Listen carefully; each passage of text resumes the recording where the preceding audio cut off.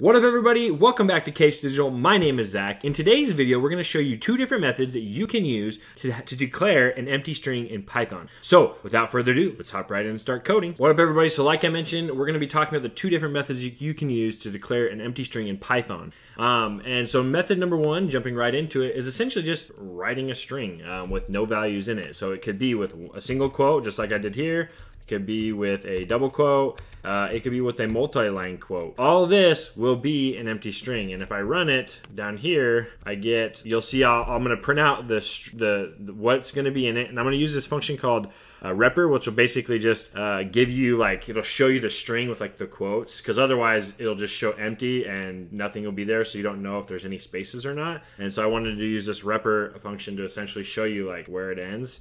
Um, and then I'm going to show you the type, and the type should be a string type. So if we run this, what you get is method number one. It's a string with its type is also a string. And again, like I mentioned, this could be um, just this or same results or it could be a single quote, you're to get the same result. But essentially, that is one method and probably one of the most common ways that someone can um, declare an empty string in Python. Now, in method two, we're going to talk about how um, you can declare a string, which is probably more familiar for those coming from more of like a C, uh, C++ background where you have to like initiate a constructor. So let's start talking about method number two. Hey, I just want to jump in real quick, say thank you so much for watching the video so far. If it's providing you value, please click that like button below. And if you haven't already, please subscribe to my channel so we can learn more about software development and programming. And well, speaking of programming, let's get right back to it. So method number two um, is essentially you just write the string constructor. So for those familiar with um, you know C, C++, stuff like that, where you have to initiate constructors, those those type of programming languages,